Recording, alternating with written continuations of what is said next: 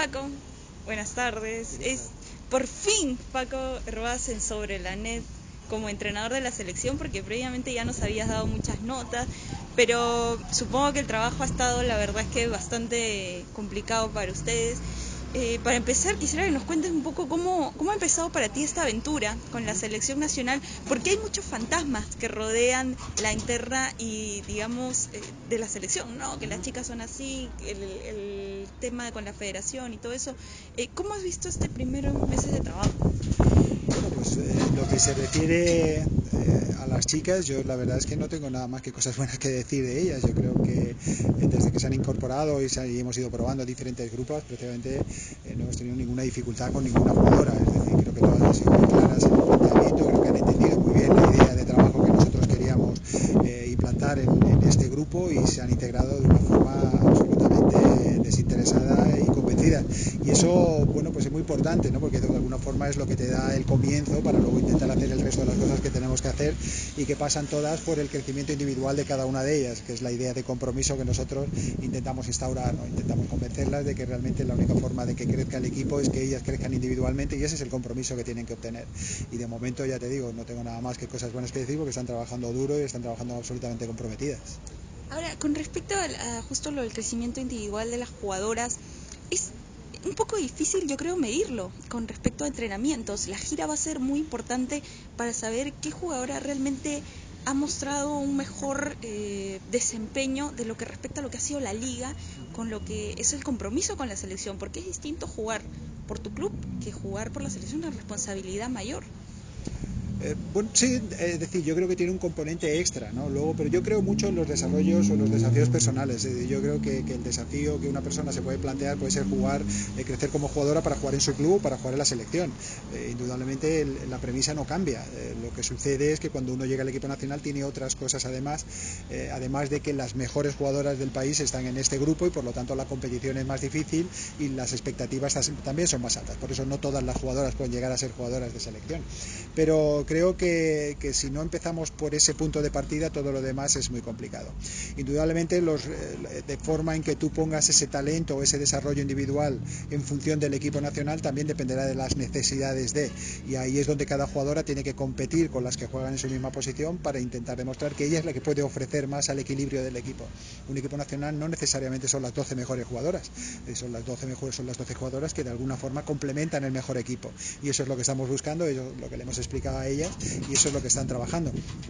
¿Qué hacemos? Nosotros, después de un análisis de, de, lo que vemos en cada una de ellas, les planteamos objetivos de desarrollo personal. Yo creo que ellas tienen que entender que si bien todas tienen mucho que mejorar, no todas tienen que mejorar lo mismo y no es lo mismo de importante mejorar todo. Y por lo tanto, cada una de ellas tiene un objetivo individual que intenta alcanzar y que trabaja eh, pues absolutamente informada y convencida de lo que tiene que hacer. Ha sido un tema, justo ahora que mencionabas lo de las necesidades que tiene esa selección, hay mucho eh, que se especula con respecto al saque, justo vi que estaban eh, trabajando saque, me gustó mucho lo que vi porque les han cambiado el saque a, a la selección. Eh, hay también un tema con la recepción, por ahí algunos dicen, no, falta bloqueo, falta recepción. ¿Qué es lo que realmente necesita esa selección?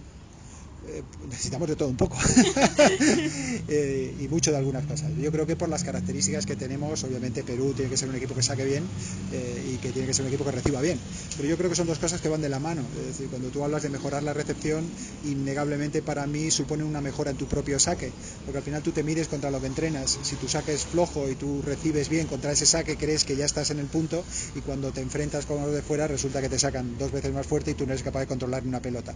Por lo tanto, si tú no eres capaz de entrenar contra ese saque, eh, te estás engañando. Entonces el objetivo prioritario primario es mejorar esa capacidad de saque, que lo están haciendo todas las jugadoras. El saque es una, una ejecución técnica que no necesariamente necesita de, de la presencia física, es más un, un, complemento técnico que un complemento físico. Cualquier jugadora puede llegar a mejorar su saque. Eh, simplemente tienen que tener claro exactamente qué es lo que queremos mejorar. Y en eso es lo que estamos trabajando, estamos invirtiendo bastante tiempo y la verdad es que la cosa se está viendo bien. Ahora luego eso hay que ponerlo en el juego, no es lo mismo entrenar que jugar. Y ahí es donde los equipos se van consolidando con el paso del tiempo. Por eso es importante los plazos un poquito más largos, porque lo que tú eh, vas cambiando no es que simplemente al día siguiente, necesita un proceso de maduración, necesita un proceso de ejecución, un proceso de asentamiento dentro de los equipos en donde compite. Y eso no es rápido. Pero bueno, con la premura que tenemos trabajamos lo mejor que podemos y ahora en la gira pues va a ser la primera toma de contacto con, esto que estamos trabajando, a ver va todo esto que me estás comentando nos hace pensar un poco que tal vez tengamos que esperar un poco para ver un Perú consolidado, porque se está esperando mucho la Copa Panamericana, ¿no? Donde por fin vamos a ver el debut de la selección, se está esperando mucho los Juegos Panamericanos, pero por lo que están cambiando y lo que están trabajando, yo siento que va a ser un proceso más largo, que de repente no vamos a ver al Perú que, que todos tenemos en mente al Perú, digamos, ganador en este primer año, quizás. Bueno, es que si yo creo que si alguien pensara que un equipo se puede cambiar en, en cuatro meses de blanco a negro, pues es que esto no funciona así, esto no funciona así. Yo, no vale con que yo le diga a una jugadora lo que quiero que haga, sino que luego tengo que entrenarla para que lo haga. Y ella tiene que tener la suficiente confianza en eso que está haciendo, que es nuevo o diferente a lo que venía haciendo anteriormente, para ponerlo en práctica en la competición. Si no, al final eh, es muy difícil y eso requiere un tiempo. Pero nosotros somos conscientes del plazo que tenemos y en ese plazo que tenemos nosotros vamos a intentar hacerlo, obviamente, lo mejor posible. Y para mí eso no se basa nada más que en el trabajo y en el compromiso desde el primer día y eso lo estamos teniendo. Ahora, ¿cómo ¿Cómo vamos a competir? Pues la verdad es que no te puedo decir que seguro que voy a sacar una medalla. Sería un poco eh, una locura pensando contra los equipos contra los que nos vamos a enfrentar en el Panamericano. Pero yo creo que sí que tiene que ser el comienzo para alcanzar esos dos objetivos tan importantes que nos hemos planteado, que es volver a llevar a Perú a la segunda plaza en el Sudamericano, entendiendo que Brasil todavía está lejos de nosotros, y volver a meter a Perú en unos Juegos Olímpicos, que sería un importantísimo para nosotros y que si Brasil se ha clasificado en su primera ronda de clasificación, ¿por qué no? Es decir, yo creo que puede estar en la mano y con esa idea trabajamos todos los días. Como entrenador, ¿cómo ves todo lo que le ha pasado a ese Roberto este año con la convocatoria. A ver, lo de Brasil, lo podemos ver que es otro país, de repente no nos importa, pero sí, nos afecta directamente cómo le vaya a Brasil, porque si a Brasil no le va bien, a nosotros tampoco nos va a ir tan bien, eh, digamos, no vamos a poder cumplir los objetivos. Y resulta que muchas jugadoras le han dicho que no a ese Roberto y empieza a preocupar el tema. Eh, ¿Cómo lo ves como entrenador de Perú? Y como entrenador, ¿no? El tema con, con Ser Roberto. ¿Por qué le han dicho tantas que no? Eh, hombre, tendríamos que preguntarle a ellas, pero lo cierto es que decir, todo va cambiando, es decir, ahora mismo el equipo nacional es muy importante, pero eh, también hay muchas jugadoras que son muy profesionales y que se ganan la vida compitiendo en los clubes. Hay veces que esos objetivos de selección no entran en perfecta sintonía con los objetivos de las jugadoras y de los clubes, y cuando son jugadoras que están eh, muy consolidadas y que tienen un una, una, idea muy clara, pues hay veces que pueden decir que no, pero yo es que creo que al final hay que respetar siempre las decisiones individuales, nadie puede estar obligado a hacer nada.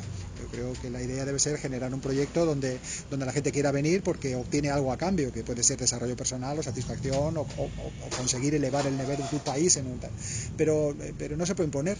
Es decir, y que en este caso se haya encontrado esa situación San Roberto es muy complicada desde el punto de vista de un entrenador, porque te obliga a volver a replantearte el equilibrio de ese equipo y además te genera siempre un poco pues la, la, preocupación de qué es lo que está pasando, ¿no? que es un, tema también importante desde el punto de vista de una federación o desde el punto de vista de un país. En Perú, pues mira, decir, con con el debido respeto y eh, obviamente sin compararnos con Brasil. Bueno, pues también hemos tenido dos chicas que nos han dicho que no podían venir, eh, Katy Regalado y Lucía Magallanes, que eran dos chicas que, yo tenía esperanza en, su crecimiento, no tanto en su rendimiento hoy día, sino en su posibilidad de crecer como jugadora. Y han dicho que no porque han priorizado los estudios y yo tengo que respetarlo, es decir, no todo el mundo tiene que querer dedicarse a esto profesionalmente en el futuro. Le deseo lo mejor y nosotros trabajamos con las chicas que realmente estén al 100%.